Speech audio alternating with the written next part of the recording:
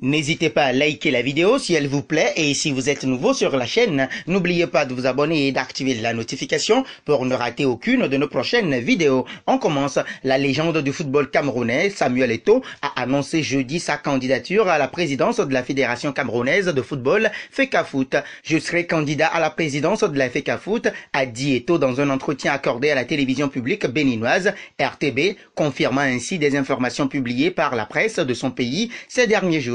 Quand je m'engage dans quelque chose, c'est pour aller jusqu'au bout, a déclaré le double champion d'Afrique en 2000 et en 2002 avec les Lions indomptables. Samuel Eto'o qui a joué dans les plus grands clubs du monde, Real et FC Barcelone en Espagne, Chelsea en Angleterre et Inter de Milan en Italie, a remporté à quatre reprises le Ballon d'Or africain. L'élection à la présidence de la FECAFOOT est prévue en octobre prochain. Le tribunal arbitral du sport TAS avait annulé le 15 janvier dernier le processus électoral ayant conduit Seydou Mbombo Njoya et son comité exécutif à la tête de la Fédération camerounaise de football en décembre 2018. La FIFA avait toutefois décidé, conformément aux recommandations de la juridiction sportive, de maintenir l'équipe en place pour gérer les affaires courantes et organiser de nouvelles élections. Des médias camerounais évoquent aussi les candidatures de l'ancien international Jérémy Nditap, de même que celle du président sortant Seydou Mbombo Njoya à la présidence de l'instance dirigeante du football camerounais.